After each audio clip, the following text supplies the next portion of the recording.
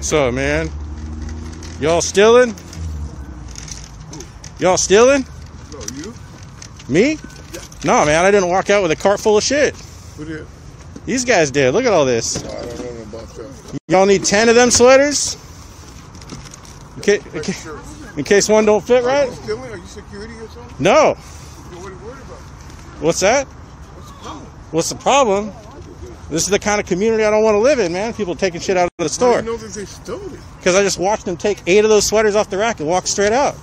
I don't know about that. You know nothing about that? I'm telling you what I saw. Wow. Welcome to Portland, right? How many how many sweaters you got? I don't think you wear like 10 of those at once, man. I think you'd only put on one like a normal person. Oh, your door's not closed all the way.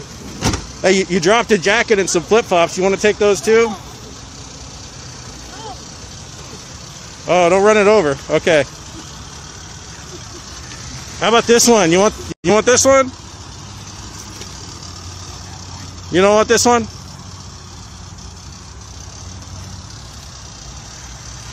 Hey, don't forget to turn your headlights on.